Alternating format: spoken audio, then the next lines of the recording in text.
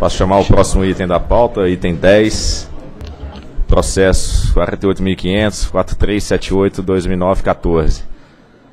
Análise das contribuições recebidas na audiência pública 73 de 2011, instituída com vistas a colher subsídios e informações adicionais para a deliberação da diretoria acerca do requerimento encaminhado pela Câmara de Comercialização de Energia Elétrica e do pedido de invalidação encaminhado pela Abracel em conjunto com a APINE, solicitando a suspensão do despacho 2654 de 2011, emitido pela SRG e pela SEM, que determinou a recontabilização dos valores do preço de liquidação de diferenças nos meses de janeiro a março de 2011. Relator original, doutor Edivaldo Santana, agora relator do voto vista, o diretor Julião Silveira Coelho. Entre 8 e 23 de dezembro de 2011 foi realizada a audiência pública 73, instituída com vistas a obter contribuições quanto à determinação feita no despacho SRG 100 2654 de 2011 de recontabilização dos valores do PLD de janeiro a março de 2011. Por meio da nota técnica 9 de 2012, a SRG e a SEM analisaram as contribuições recebidas e recomendaram a manutenção do despacho 2654. A Procuradoria, no parecer 35 de 2012, opinou pela manutenção do valor do PLD calculado pela CCE nos meses de janeiro, fevereiro e março de 2011. Na sexta reunião pública ordinária de 2012, o diretor Edivaldo votou por manter a determinação de recontabilização do PLD. Após a fase de discussão, pedi vista dos autos ao relatório. A Procuradoria se manifesta? Não precisa não, né? Que é voto vista. Tá.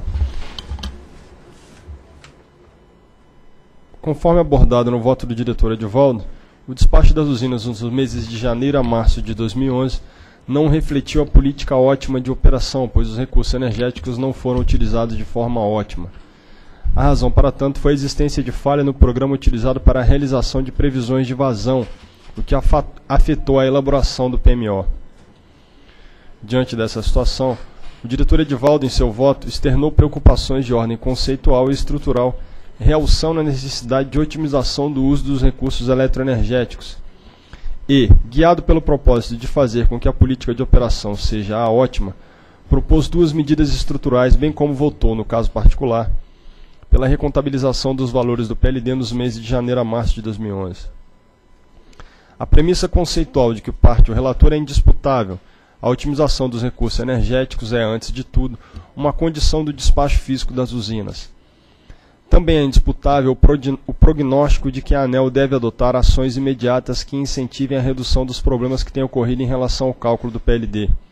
Nesse sentido, as medidas estruturais sugeridas pelo relator convergem para a busca da otimização do uso dos recursos eletroenergéticos e para a redução de erros no cálculo do PLD, na medida em que conferem maior transparência, fiscalização e controle à operação do sistema. Cumpre, pois, examinar se é necessária a busca pela otimização dos recursos eletroenergéticos e impõe, no caso concreto, a recontabilização do PLD nos meses de janeiro a março de 2011. A Procuradoria, no parecer 35 de 2012, externa o entendimento de que o PLD deve refletir os dados utilizados para a efetiva operação do sistema interligado, assim o fazendo com fundamento no artigo 57, parágrafo 1 do Decreto 5163 de 2004, segundo o qual o PLD será calculado antecipadamente com periodicidade máxima semanal e terá como base o custo marginal de operação. À luz do artigo 57, parágrafo 1 do decreto, a Procuradoria defende que a mudança retroativa do PLD para refletir dados não disponíveis à época e que não foram utilizados na operação do sistema parece contrariar o texto tanto do decreto quanto da Lei 10848, que vincula a formação do preço de liquidação do mercado de curto prazo à operação do sistema interligado. O relator, por sua vez, entende que, em razão de a política operativa de mínimo custo não ter sido a ótima, fica caracterizada a violação ao artigo 1 parágrafo 4 inciso 1 da Lei 10848 de 2004 e, por consequência, o preço resultante dessa política operativa afastada do ótimo seria inválido. O cotejo das posições da Procuradoria e do relator e, em particular, as disposições normativas invocadas por cada qual, revelam não haver na legislação setorial resposta pronta para o caso sob apreço. Não há na legislação setorial orientação explícita sobre o que deve ser feito na hipótese em que o PLD, embora aderente ao despacho físico realizado, não converge com o que seria a utilização ótima dos recursos eletroenergéticos, caso os modelos computacionais utilizados na elaboração do PMO e os dados de entrada que os alimentam não apresentassem falha. A falta de orientação explícita exige que se atribua sentido às disposições existentes, ou, por outras palavras, exige que se construa, a partir das disposições normativas disponíveis, a solução para o caso concreto. Afastados da crença de que juristas seriam dotados do poder quase mediúnico de descobrir o sentido, da, o sentido das leis, doutrinadores modernos do direito, em particular os seguidores da análise econômica do direito, defendem que a tarefa de se atribuir sentido a disposições normativas deve ser pautada pela busca da solução que represente a melhor relação custo-benefício. Nesse sentido, antes de avançar para a análise das disposições normativas em torno das quais gravita presente controvérsia, cumpre tentar aquilatar os custos e os benefícios de cada qual das medidas sob apreço. Desde que a humanidade evoluiu do sistema de escambo para o comércio com base em dinheiro, os preços utilizados para a compra e venda de mercadoria sempre foram, em regra, fixados por acordo entre as partes contratantes, observando a lei econômica da oferta e da procura, mas sem estarem submetidos a critério jurídico de validade. Ocorre que, conforme notado no voto do diretor-relator, o PLD é, é, calculado com base em modelo computacional, peculiaridade que abre espaço para que, no setor elétrico brasileiro, à diferença dos de demais mercados, haja espaço para discussão sobre a validade de preço utilizado tanto para a celebração de contratos quanto para a liquidação de operações realizadas no mercado de curto prazo. A opção de não recontabilizar PLD já calculado e utilizado para a liquidação de operações enseja, pois, o benefício de não distanciar ainda mais o setor elétrico da realidade dos demais mercados, nos quais não se cogita a anulação de preços já praticados. Essa opção também está em sintonia com uma das principais missão, missões que justificaram a criação de órgãos reguladores, qual seja essa missão, emular condições de mercado em setores como os marcados por monopólio natural, em que essas condições não são naturalmente alcançadas. A alternativa de recontabilização do PLD, por sua vez, além de afastar ainda mais o setor do que é praticado nos demais mercados, instala no setor elétrico o risco de operações já realizadas serem alteradas no seu aspecto mais sensível e caro, o preço. Dado que a alternativa de recontabilização pressupõe o reconhecimento da validade do PLD que, embora reflita o despacho, físico, é, é destoante do que seria o despacho ótimo, o risco de alteração do PLD permaneceria por cinco anos, o qual corresponde ao prazo decadencial para anulação de atos administrativos. Esse eventual estado de incerteza aumenta a percepção de risco dos agentes setoriais, os quais, orientados pela relação risco-retorno, tendem a precificar o aumento percebido de risco, precificação essa que acaba por pressionar os valores de venda de energia elétrica, elevando-os. No ponto, vale ter presente a advertência de Pércio Arida, Edmar Baixa e André Lara Rezende, os quais em artigo apontaram que a instabilidade do quadro sobre o qual se baseavam os contratos firmados sob a jurisdição brasileira gerava baixíssima oferta privada voluntária de financiamento de longo prazo e elevadas taxas de juros reais de curto prazo. A solução cogitada pelo diretor relator na 46ª RPO de 2011, na qual se determinou a abertura da audiência pública 73 de 2011, seria a celebração pelos agentes de contratos de rede para fins de proteção a oscilações do PLD. Cabe notar que os contratos de hedge são tipicamente celebrados para blindar agentes econômicos contra variações de taxa de câmbio ou no mercado de derivativos, contra variações nos preços de commodities, ou seja, a proteção intentada é sempre contra riscos futuros. Caso utilizado no presente caso, está-se diante de situação em que o contrato de hedge se prestaria a proteger determinado agente contra riscos de variação de preços praticado no passado. Além do ineditismo desse modelo de contratação, não se pode ignorar que a necessidade de celebração de contrato de rede certamente seria precificada pelos agentes e implicaria novo custo de transação, o qual também pressionaria as tarifas e os preços de venda de energia. Nesse cenário, a ANEL se afastaria da lição da teoria da regulação econômica defendida por Coase e Posner, segundo os quais, segundo os quais o direito, na medida em que esteja interessado na promoção da eficiência econômica, deve tentar minimizar custos de transação. Em síntese, a alternativa de recontabilização enseja a instabilidade e aumenta a percepção de risco, conformando um ambiente regulatório e negocial marcado por incertezas, o que acaba por se traduzir em aumento de tarifas e preços de venda de energia. Poder-se-ia tentar identificar, na alternativa de recontabilização, o benefício de convergir para a otimização do uso dos recursos eletroenergéticos. A otimização dos recursos eletroenergéticos tem por escopo conciliar os seguintes valores: eficiência energética, na medida em que evita desperdícios, segurança no abastecimento, na medida em que considera cenários futuros para efeito de despacho, fazendo com que o despacho do presente seja processado de maneira a preservar o melhor cenário para os despachos futuros, e eliminação de custos desnecessários, na medida em que se confere, em regra, prioridade ao despacho de usinas com menores custos de operação. No entanto, se o despacho já ocorreu, a recontabilização do PLD não tem o condão de restaurar o resultado que refletiria a consecução dos valores colimados com a otimização dos recursos eletroenergéticos. Por outras palavras, a recontabilização do PLD homenageia a otimização dos recursos eletroenergéticos como valor abstrato, como se fosse ela um fim em si mesma, mas não permite alcançar os efeitos práticos que justificam sua observância, pois se o despacho já ocorreu, os recursos já foram utilizados. Ficaria o possível benefício resultante da circunstância de que o sinal de que pode existir uma ação ex post contribui para aprimorar procedimentos e cálculos. A necessidade de buscar o aprimoramento dos procedimentos e cálculos de formação do CMO e do PLD é indisputável.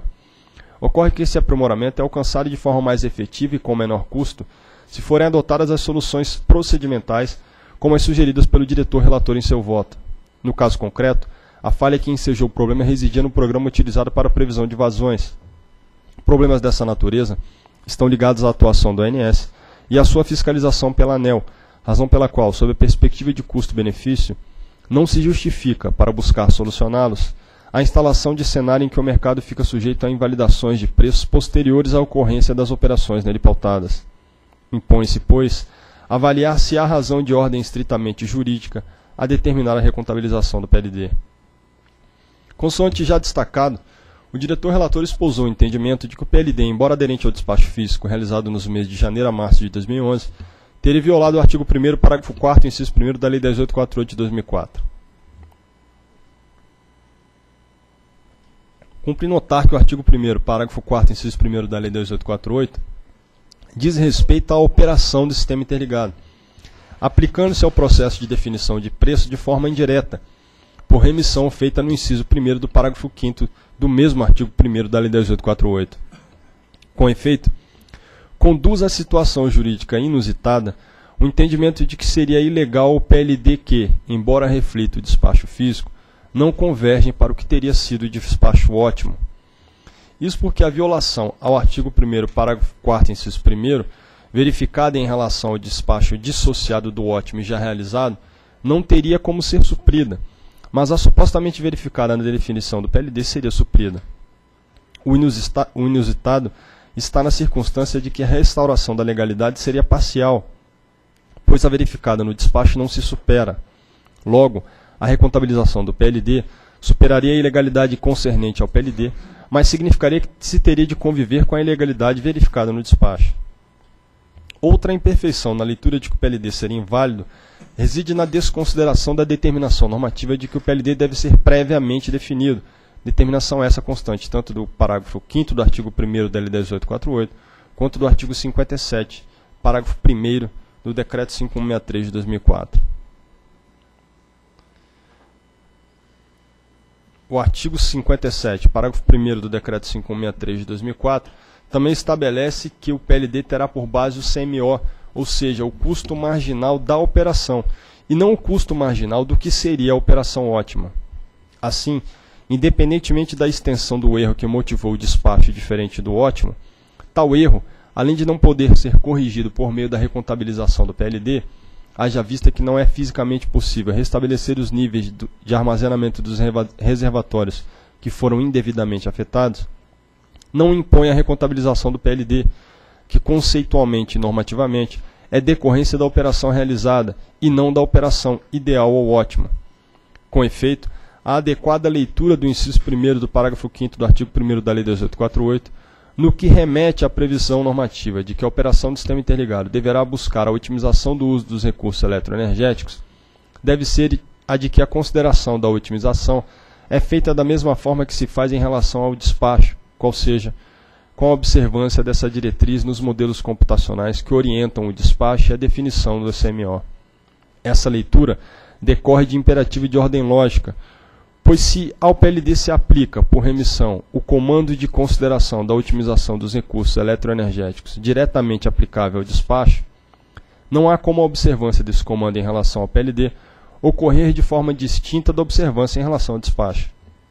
Em concordância com a conclusão acima externada, assim sintetizou o diretor Romeu Rufino durante a fase de discussão do processo.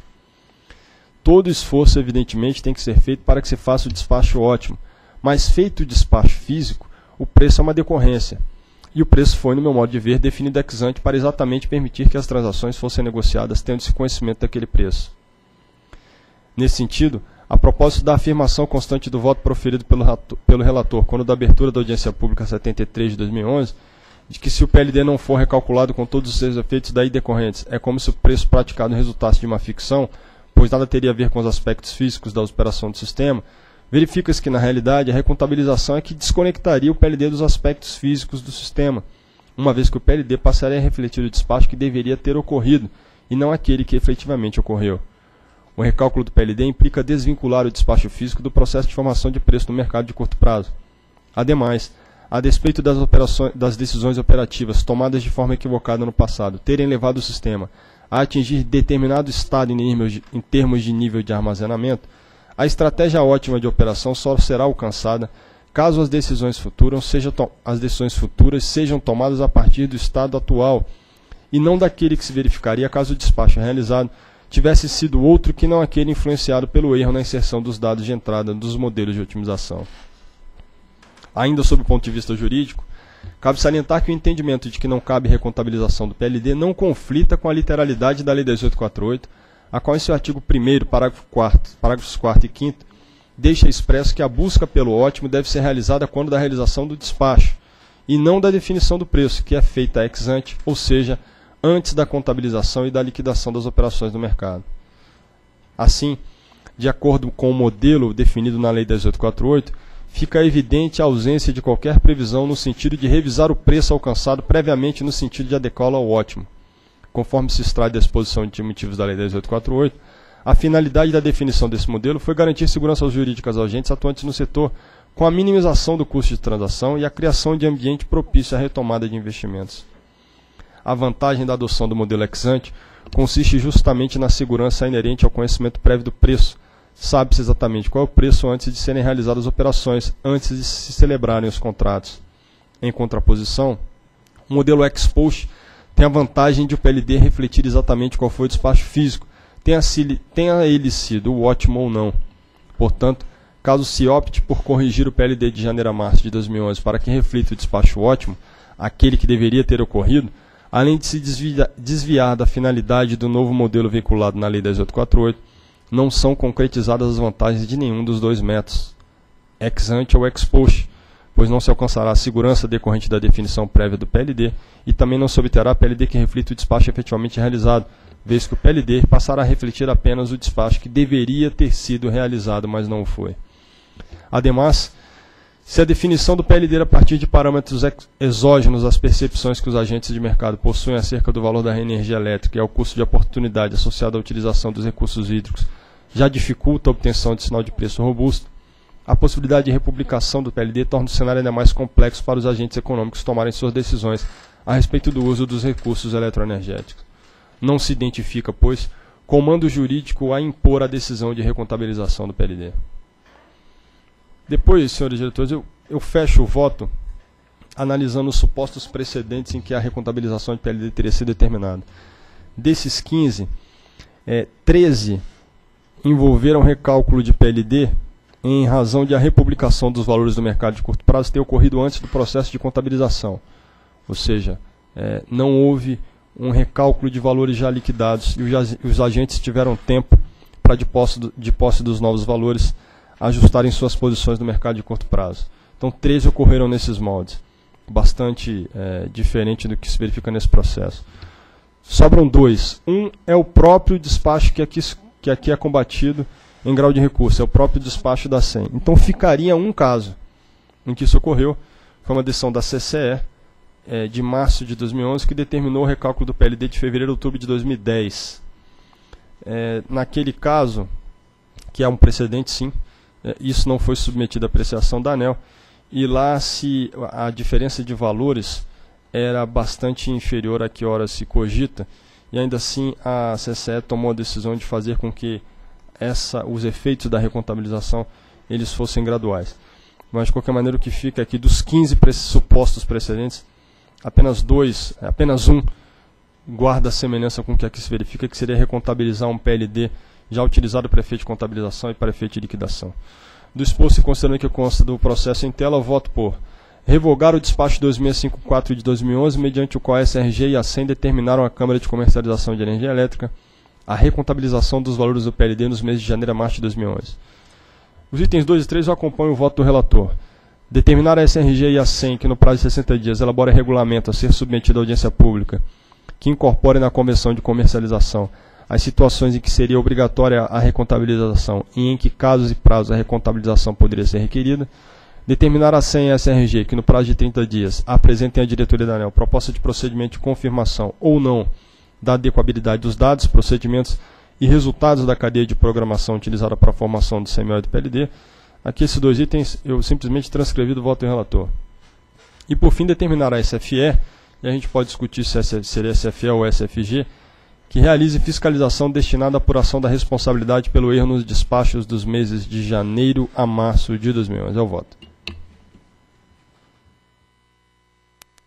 Em discussão? Não, não vou. Julião é. também colocou esse processo em homenagem, porque pois não queria é. me deixar em cima do muro de jeito nenhum. É, mas eu, eu, prometo não gastar muito tempo. Tem uma, uma discussão que acho que vai ser insuperável, conceitual, da diferença entre despacho ótimo e despacho físico. Que aí eu, que eu prometo não detalhar muito. Mas vou começar por a história do RED, Julião. Quando eu sugeri que cada um fizesse RED, na realidade é uma, uma prática utilizada nos contratos que existiam no, no ambiente livre. Até eu sair uma portaria que proibiu os contratos ex post, né? aqueles contratos expostos eles são feitos uma semana, 15 dias depois de saber o preço. E aquele contrato lá, na realidade, eles têm cláusulas, várias cláusulas de ajuste em função de variação do preço, etc. O mercado da Noruega, o melhor funciona, mercado físico, o spot, é de cerca de 12 bilhões de euros, o mercado de hedge é de cerca de 60 bilhões de euros. O mercado lá é, também é ex ante.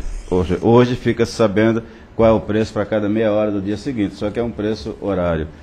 Como não tem como acertar na mosca, porque é ex antes, então no dia seguinte tem o que eles chamam de mercado de ajuste, que pode até alterar o preço. Tem até seguro, proteção contra esse ajuste de preço. Portanto, o, o, o modelo anterior, desse ponto de vista, ele era um pouco mais inteligente, aí foi a sugestão da própria Cooper, que ele tinha o PLD ante ex. Como era preço semanal, todo o preço no Brasil é rodado em previsão. Eu, de, raramente, eu não me lembro de um caso em que o despacho físico foi igual ao despacho óptico. Não tem como ser, porque é feito uma semana antes, a água não acontece como deveria, tem térmico que deveria ser despachado que não atende. Hoje, por exemplo, tem um despacho físico, que tem térmica despachada fora da ordem de mérito, e o despacho ótimo, que é aquele que só contempla as térmicas despachadas por ordem de mérito. Então, essa diferença é, é, não tem muito a ver com PLD ex ante, PLD exposto. PLD é ex antes no Brasil, porque, primeiro, em todo lugar onde tem mercado de spot, ele é sempre antes. Em alguns casos, como era aqui antes, tinha mercado de ajuste. E aqui, como ele é antes, a única exigência que a lei faz da ANEL é que se cumpra o despacho ótimo. E a lei é bem clara quando diz o que é o despacho ótimo. É aquele que os recursos energéticos são utilizados de forma ótica, ótima. Como agora não tem mais o PLD exposto para ser fiscalizado pelo próprio preço, Aí é o próprio decreto que regulamenta a CCE e a ANEL diz, ANEL, fiscalize isso. Acho que a discussão, acho que eu, é, eu sou bastante prático em função dos valores envolvidos, etc.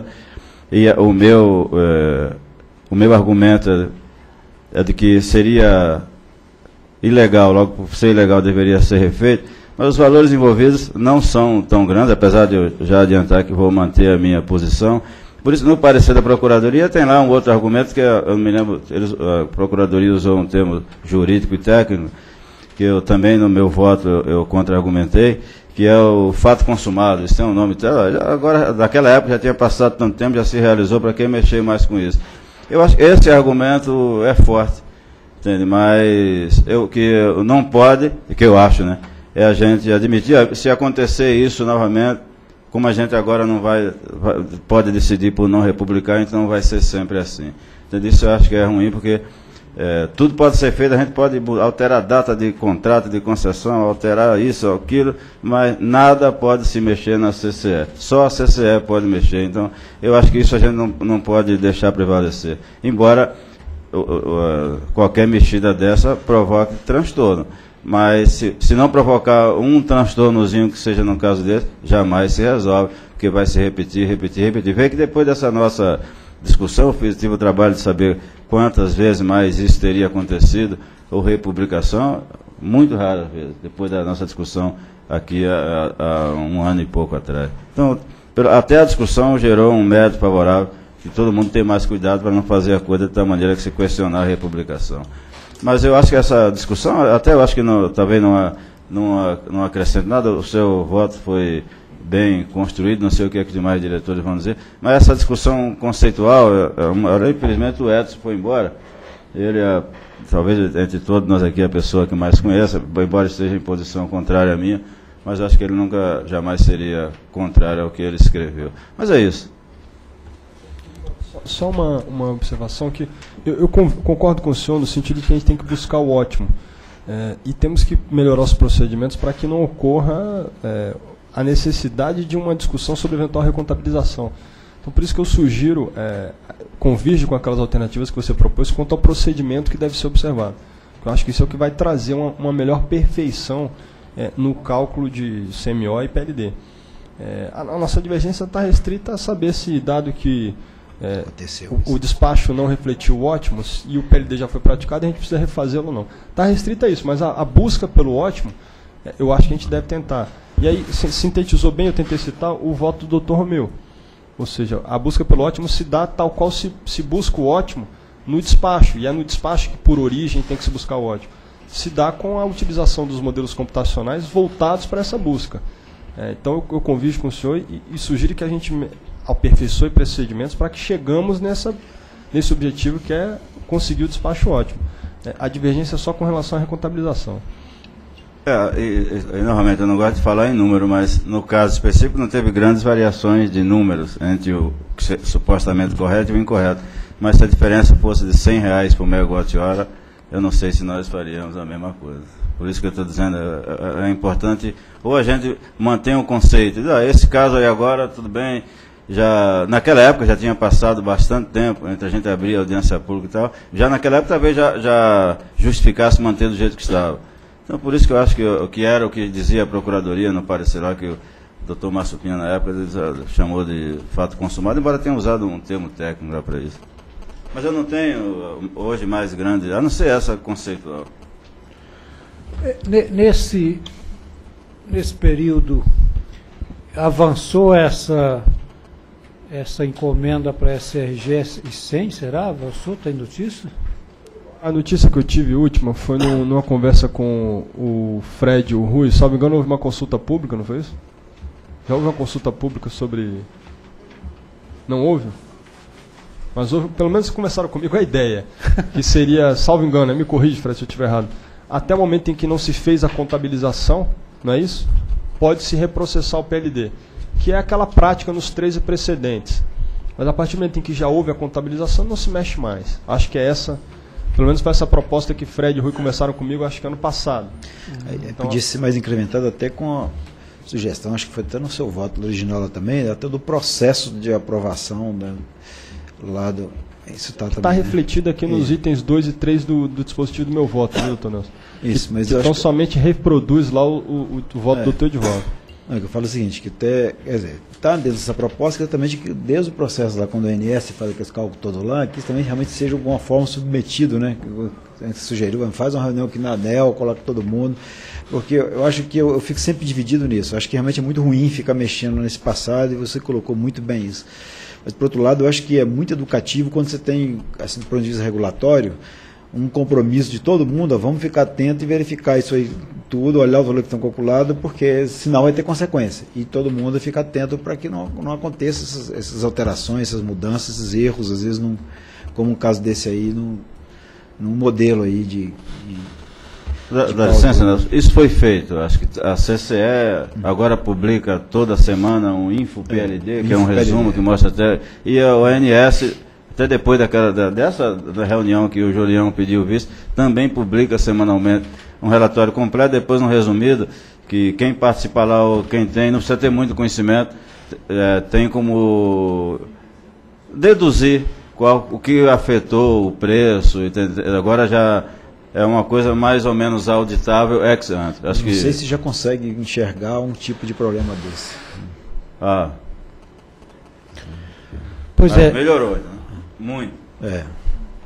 É nesse sentido que eu, que eu fiz o comentário, porque eu, eu, eu acho que, enfim, o procedimento já certamente aperfeiçoou muito na busca dessa questão, mas eu imaginava que, com relação ao item 2 e 3 aqui, que desde aquela discussão não havia divergência com relação a isso. Por isso que eu perguntei que isso aqui já, já poderia ter avançado no sentido de, de, de trabalhar essa, essa regra. Né? Acho que não, meu, como, acho que até pode ter sido uma falha, como, apesar do pedido de vista, os demais itens talvez pudessem avançado, né? É Não, é Isso, mesmo que não tenha deliberado, porque É, eu estou dizendo é pela discussão, eu acho que não há dúvida de que essa, esse aperfeiçoamento e essa regra aqui, ela, ela precisa ser feita. Né? Eu tô falando, por isso que eu fiz a pergunta, que se isso não, não, não caminhou.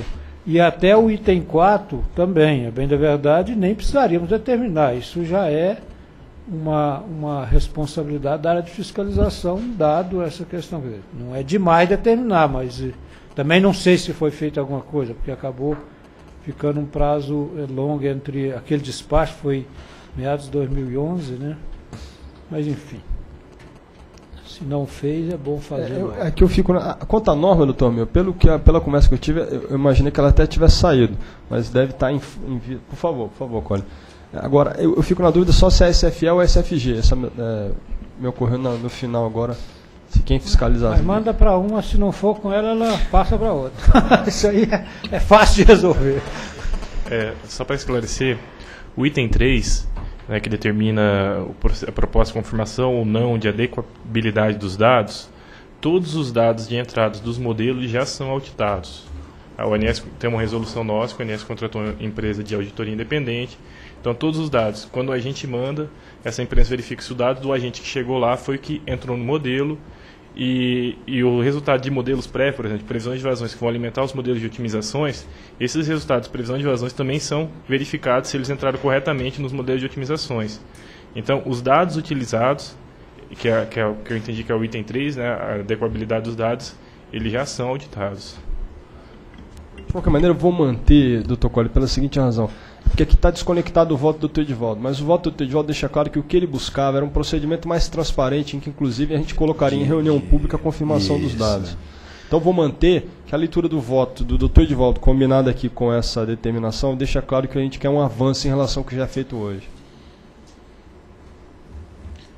Ok? Então, primeiro o Edivaldo, né, que tem que se manifestar. Gente, embora eu não, não eu, a minha eu tenho uma discordância, discordância insuperável quanto a conceitual, por isso que eu mantenho a minha posição. Embora compreenda os avanços. Também mantenho minha, minha convicção e sigo o voto do, do Edivaldo, também compreendendo aí os avanços. Eu voto, eu comprei o voto visto do Dr. Julião. Vocês são covardes, hein? Eu achei que o Edivaldo, na hora que ele fez aquele discurso ali, que ele falou assim, pô, agora esse negócio ficou pequenininho e tal. Não, a gente realmente pesei, discuti bastante essa questão, mas eu acho que para mim ainda pesa mais o princípio de, de buscar todo mundo, ficar atento e vigilante com relação a esses processos. Eu vou votar então com o voto original lá do, do doutor Edivaldo. O problema é eu achar ele aqui agora, né?